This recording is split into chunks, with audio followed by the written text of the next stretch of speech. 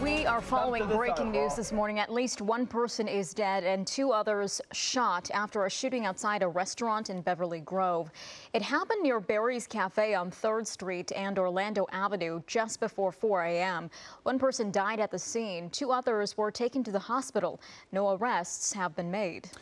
Hello, I'm Mark Brown. Get more great ABC7 content by clicking the subscribe button for our YouTube channel and download the ABC7 Los Angeles streaming app on Fire TV, Android TV, Apple TV, and Roku to watch on your TV.